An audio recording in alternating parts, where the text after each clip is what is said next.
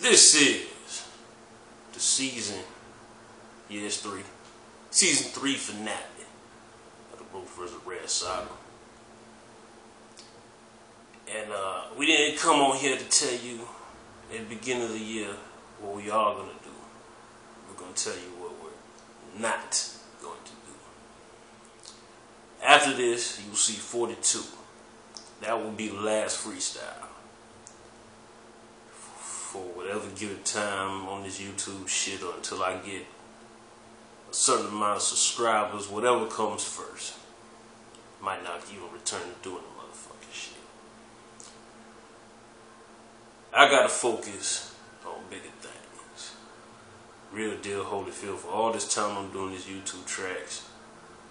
Been blindsided.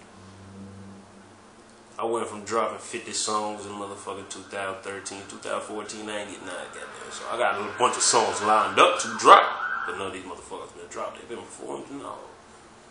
So, fuck this Roach Red saga. I'm gonna take a break on this here too. I get build a location, background, and all the good shit. Freestyles told you about that. What I will be dropping slowly is a documentary. Not for purposes of views now, but in for future time.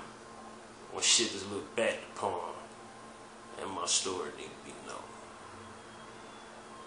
We'll let you know where Roach's inspirations came from, where my inspirations came from, what separates us. And as far as telling the difference, check out this number 42 that's about to drop. If you don't pay attention to anything I've been doing the last three, four years, these songs have been getting dropped. If you don't pay attention at least bit, you're gonna be able to tell the difference. It was done on one take. I'm probably gonna call it fuse on the man. I ain't got. Go check that out. Shining that. Nigga a red shirt.